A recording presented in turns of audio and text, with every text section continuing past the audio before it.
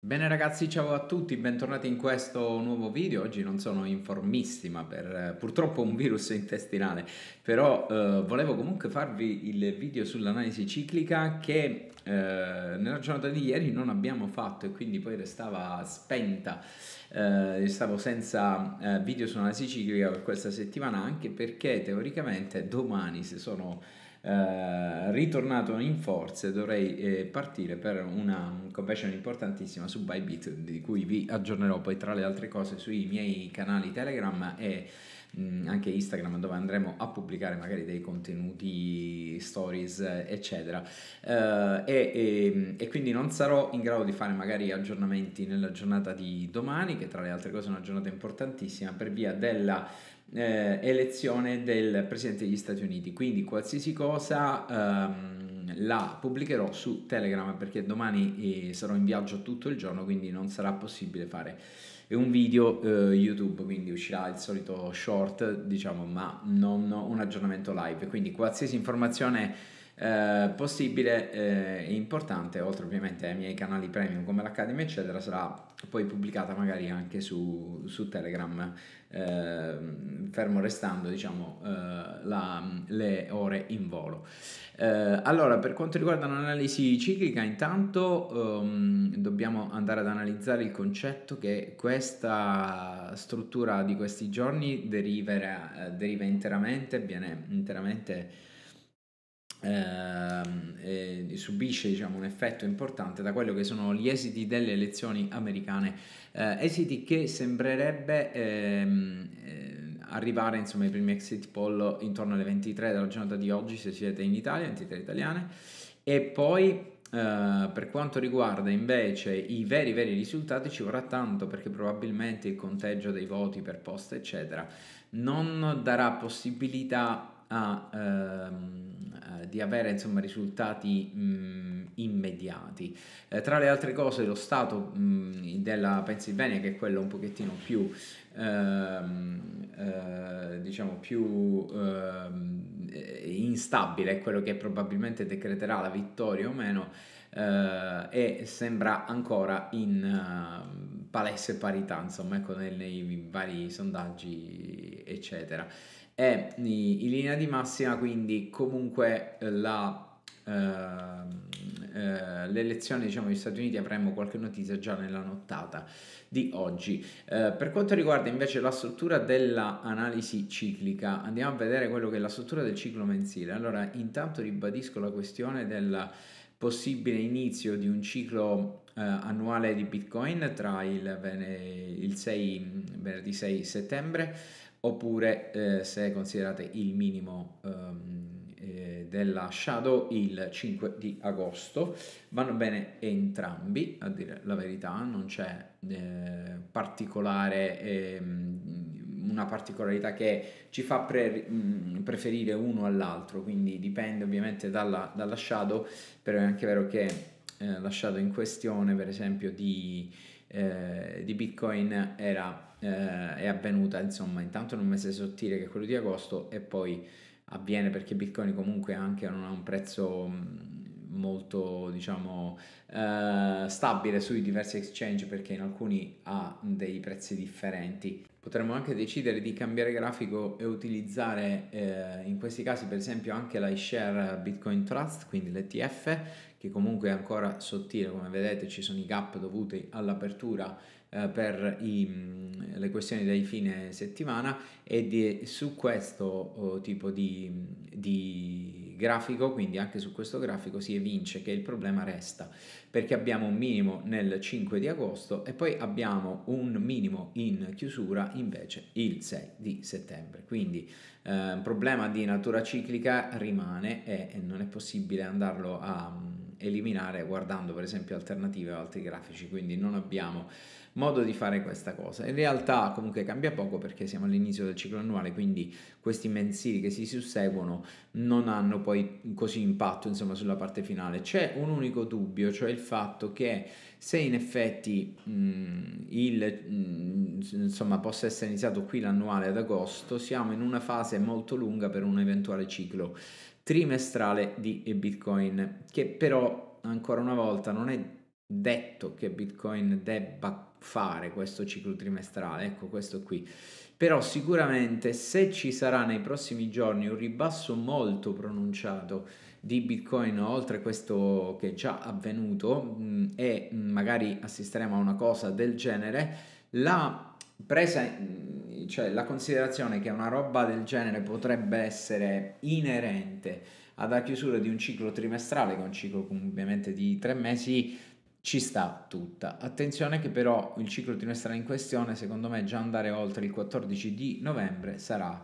eccessivo, quindi una decina di giorni massimo, perché già siamo a 101 giorni. È anche vero che ne abbiamo avuti alcuni da 110, quindi ancora più in là, però in linea di massima eh, di solito durano di meno. Vale anche il concetto che purtroppo ancora una volta il conteggio ciclico non ci dà una mano in questo caso perché anche se facciamo partire l'annuale da settembre 70 giorni, 69, 70 giorni sono sufficienti comunque per un trimestrale, quindi a prescindere non cambia neanche questo concetto. In linea di massima però secondo me bisognerà guardare questo dato soprattutto da un punto di vista di analisi ciclica per comprendere se questo pump con il doppio massimo di Bitcoin e poi il relativo ritracciamento e mh, ha dichiarato diciamo, il massimo di questo ciclo mensile, cosa che è possibile in quanto questo è un ciclo mensile di natura ternaria, quindi fatto sostanzialmente a tre montagnelle, facciamo così il concetto. Nel momento in cui eh, siamo andati a toccare questo massimo, eravamo a metà del mensile, quindi è un classico mensile a forma ternaria. Ora, non ci sono vincoli ribassisti perché il, il, movimento da 12 giorni, perché abbiamo un movimento da 13 giorni e poi uno da 12 giorni che sembrerebbe essere stato chiuso ieri e oggi dovrebbe essere iniziato il nuovo movimento della durata di appunto 10-11 giorni che porterebbe poi alla eh, chiusura in pratica del eh, mensile eh, che io ho posizionato più o meno qui a 35 giorni e che ho posizionato in questo caso intorno al 14 novembre. Ora c'è una anomalia su questa cosa voglio, di cui voglio parlarvi tra poco perché dobbiamo tenere in considerazione che siamo nella uh, settimana delle elezioni degli Stati Uniti, quindi ovviamente sì, cicli, ok, però dobbiamo tenere anche in considerazione l'andamento no? Mm, del fatto che questi cicli si possono sfasare con un'altra forma di andamento di cui vi parlo tra poco, proprio in merito anche a quello che potrebbe succedere perché non siamo in una settimana normale tra virgolette bensì siamo in una settimana che ha un impatto molto rilevante. Quindi ovviamente se ci sarà una vittoria evidente per esempio di un candidato piuttosto che un altro ma se non ci sarà probabilmente magari mh, il mercato continuerà eh, seguendo diciamo la sua strada. In linea di massima questo ciclo è il terzo movimento quindi questo è il primo questo è il, ter- è il secondo e questo è il terzo movimento che dovrebbe essere iniziato questa notte dal minimo di 66, 7 e 98. Questo movimento non ha vincoli perché questo ciclo anche centrale non è stato ribassista e ciò significa che noi qui possiamo fare tutto in pratica perché non ci sono vincoli. Quindi questo ciclo che inizia può fare anche nuovi massimi e chiudere così non è vincolato, non ha nessun tipo di logica eh, di, di, vincolo vario, eccetera. Io a dire la verità mi sarei aspettato in questi giorni un'impennata ulteriore di Bitcoin per poi andare a fare questa fase finale, il famoso pullback. Ve ne avevo parlato in qualche video del Bitcoin Monday nella settimana precedente. In realtà il mercato poi ha deciso per fare un doppio massimo, scusatemi il termine, ma una figura assurda in un contesto del genere perché non è neanche definibile facile, è più che facile, è una figura talmente banale, talmente semplice che è una follia che il mercato abbia fatto questa figura, eh, segno che Bitcoin anche in questo momento forse è talmente semplice da utilizzare in termini anche di analisi tecnica che mh, è, diventa difficile, cioè diventa difficile perché è talmente semplice, talmente banale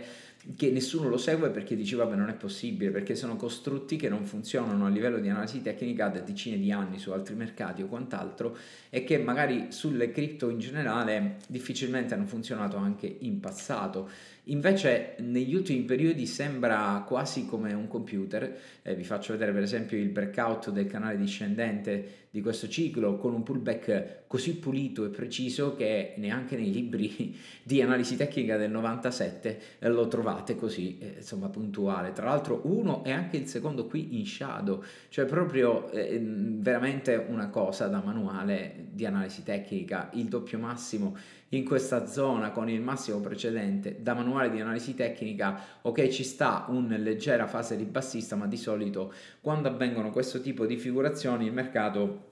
non dà facilmente segnali di ingresso a chi è rimasto fuori, bensì mm, spacca diciamo i massimi, se ne va e lascia per strada tutti quelli che non sono entrati. Questo è simbolo anche di tante cose che sono cambiate quest'anno proprio a causa dell'avvento degli ETF, perché è innegabile che molte cose sono cambiate e anche in questa zona è abbastanza evidente. Questo atteggiamento completamente diverso di Bitcoin rispetto agli anni passati, perché questo tipo di atteggiamenti così puliti non, non, li aveva mai avuti, ragazzi, vi assicuro, con delle strategie di analisi tecnica che ehm, eh, sono famosissime, sono anche molto vecchie, appunto sono famose perché non funzionano più sui mercati proprio perché sono così banali. Eh, cioè qui si faceva bingo e sembrava un bancomat, non ho mai visto una cosa del genere negli ultimi decenni della mia vita, da carriera da trader, veramente eh, incredibile. Questo è simbolo anche del fatto che probabilmente abbiamo un mercato molto più istituzionalizzato rispetto a quello che si pensi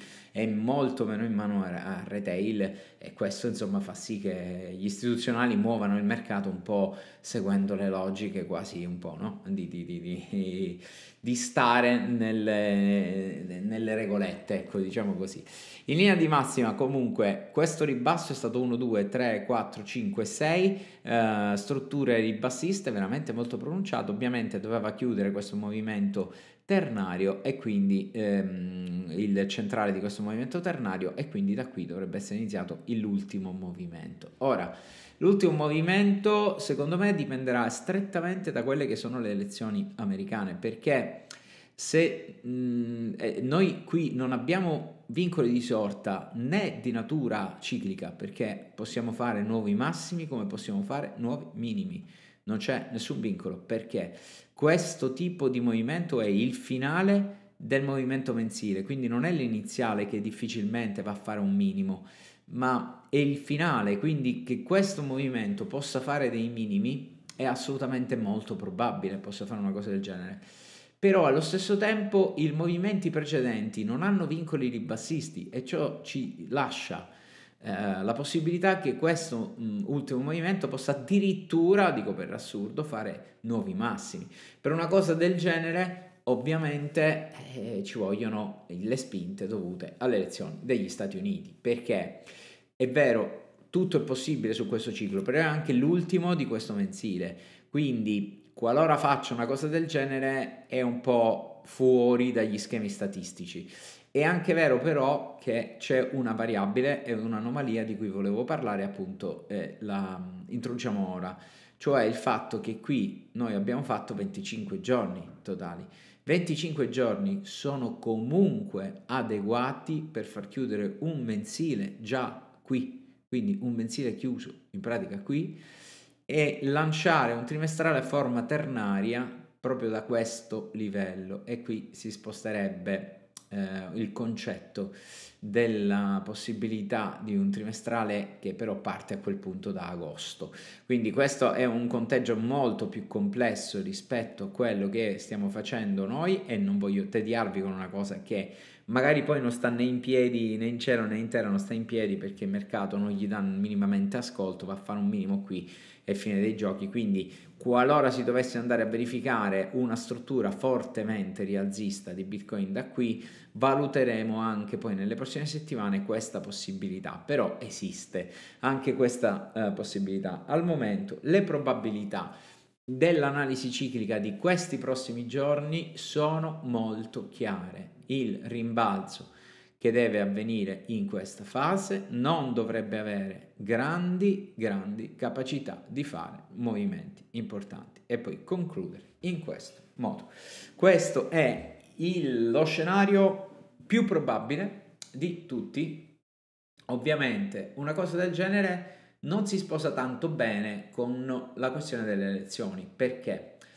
Perché mh, a meno che appunto questo esito elettorale non verrà rimandato a causa dei problemi legati al conteggio dei voti, alle varie denunce legali che ci saranno sicuramente, visto che siamo sul filo del rasoio, quindi verranno ricontate le schede, ci sono i voti anche per posta che devono essere ricontati quindi si allunga il brodo perché qui comunque arriviamo al 14 di novembre, niente di anomalo. Uh, probabilmente già nelle prossime 2-3 giorni il mercato prenderà una direzionalità in base a un sell on news uh, oppure a un pump perché magari preferisce un candidato piuttosto che un altro. Uh, soprattutto lato cripto. Questo noi non lo sappiamo al momento perché in realtà eh, non, sono, non, c'è nessun dato, poi tra le altre cose gli Stati Uniti sono molto bravi a nascondere queste informazioni perché, parliamoci chiaro, per loro valgono oro in quanto i mercati si muovono con queste informazioni, loro lo sanno benissimo. Eh, chi magari di dovere può fare qualche operazione, eh, sfido, insomma, no? chi eh, sa magari qualcosina che ha in mano già i dati no? degli exit poll, eh, qualcuno li sa già ragazzi, no? e quindi Ehm, magari insomma che non saranno giusti, però se c'è una forte discrepanza, eccetera, qualche operazione in Cina magari sul mercato l'hanno già messa in atto e quindi a loro conviene che ci sia questo atteggiamento no? di non si sa bene le, niente, in modo tale che eh, si possa muovere molto di più i fili no? di questa matassa finanziaria. Uh, in linea di massima, comunque vi ripeto, l'atteggiamento di questo ultimo ciclo del mensile dovrebbe essere laterale barra debole. Questo è la natura, anche per via del fatto che questo massimo è distanziato tantissimo dalla fase di minimo, troppo, anche qui un'anomalia molto evidente. Guardate, vi faccio il conteggio a livello di pricing abbiamo un meno 9,24% per la chiusura di una specie di ciclo settimanale.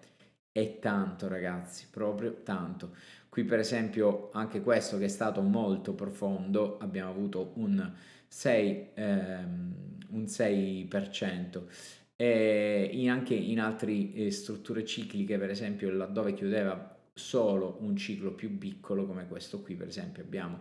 di solito un 5%. Già qui è cambiato perché in questo contesto abbiamo avuto un 9. In pratica sembra che se noi analizziamo questi due mensili sembrano identici. Adesso vi faccio vedere anche un'altra cosa, ecco qui per il discorso della macchinetta eh, di questi atteggiamenti veramente da analisi tecnica che sono talmente talmente banali che incredibilmente facile no, andarli a utilizzare. Allora, qui teoricamente abbiamo una struttura sviluppata in, ehm, in questo modo, io la farei ricadere un po' così, a forma di natura ternaria, ancora qui con un 10, 16, 8, quindi simile no? a questo, questo è addirittura ancora più preciso, 13, 12 barra 10, però cambia poco, cioè alla fine siamo sempre intorno ai 34 giorni, 35 giorni, il concetto è sempre di cicli ternari, c'è stato un ribassone sul ciclo centrale dopo un massimo e quindi il finale ha fatto il classico pump and dump per chiudere poi la struttura ciclica, quindi la sua naturale propensione sarà proprio ripetere sostanzialmente questo ciclo, cioè un pump così per poi fare un dump e chiuderlo, probabilmente laterale o leggermente rialzista. Questa è la soluzione più improbabile, a meno che appunto, vi ripeto, non ci siano degli shock dovuti alle questioni della um, alle questioni delle uh, elezioni americane e lì cambierebbe un po' tutto perché eh, secondo me eh, insomma il mercato tenterà la strada della volatilità quindi io direi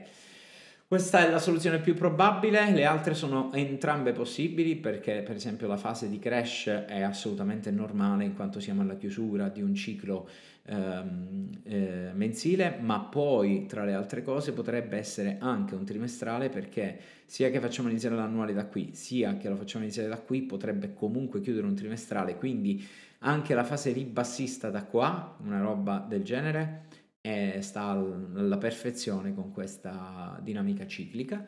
Uh, solo la fase di up ha meno probabilità e magari sarà proprio quella che si andrà a verificare perché poi interviene quell'altro eh, tipo di scenario di cui poi casomai andremo a parlare. Va bene, fatemi sapere cosa ne pensate anche voi. Eh, I pollicioni in su ragazzi perché sto registrando veramente malandato, ve lo assicuro. Eh, quindi datemi una mano, almeno fatemi sentire la vicinanza con i pollicioni. Grazie a tutti, ciao!